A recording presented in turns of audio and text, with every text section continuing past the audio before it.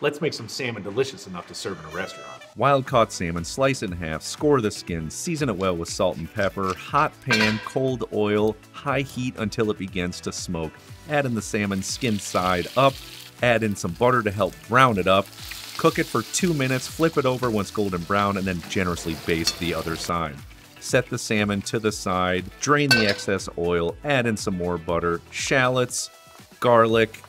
cook until lightly brown for two to three minutes, then deglaze with a little squeeze of lemon juice, deglaze with some Chardonnay wine, cook to au sec or almost gone, heavy whipping cream, mix it until thick and nappe, finish with more butter, capers, fresh dill, salt and pepper, mix it until combined, spoon that sauce right onto a plate, add those gorgeous golden brown salmon and top off a little bit more fresh dill, and be sure to try it out.